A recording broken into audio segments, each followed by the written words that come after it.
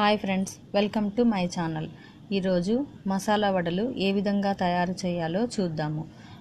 ముందుగా పచ్చిశనగపప్పు కాల్ కేజీ తీసుకొని వాటర్ పోసి క్లీన్ చేసుకొని మూడు గంటల పాటు నానబెట్టుకోవాలి. పప్పు మెత్తగా అయిపోతుంది.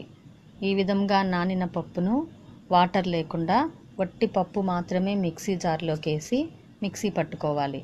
వాటర్ అస్సలు వేయకూడదు. ఈ విధంగా పప్పు మెత్తగా కాకుండా బరకగా ఉండాలి.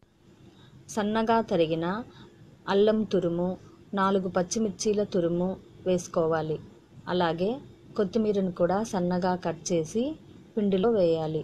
రెండు పెద్ద ఉల్లిపాయలని చిన్నగా కట్ చేసి వేసి తగినంత ఉప్పు సోడా ఉప్పు చెక్క లవంగాల పౌడర్ను కూడా వేసి అంతా సమంగా మిక్స్ చేసుకోవాలి ఈ విధంగా.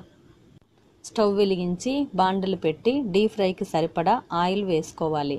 చెయ్యిని నీట్గా వాటర్తో తడిపి చిన్న చిన్న ఉండలుగా చేసుకొని ఈ విధంగా చిన్న మసాలా వడల్లాగా ఒత్తుకొని ఆయిల్లో వేసి ఫ్రై చేసుకోవాలి.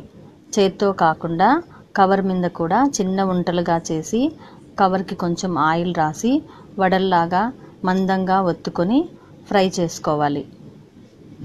ఈ విధముగా రెండు వైపులా సమంగా ఎర్రగా వచ్చేలాగా వేపుకొని తీసి ప్లేట్లో పెట్టుకోవాలి. అంతే మసాలా వడలు రెడీ అయిపోయాయి. పైన కరకరలాడుతూ లోపల మెత్తగా ఉంటాయి. ఈ మసాలా వడలు సింపుల్గా ఈజీగా చేసుకోవచ్చు. ఈ రెసిపీ మీకు నచ్చినట్లయితే లైక్ చేయండి షేర్ చేయండి సబ్స్క్రైబ్ చేయండి.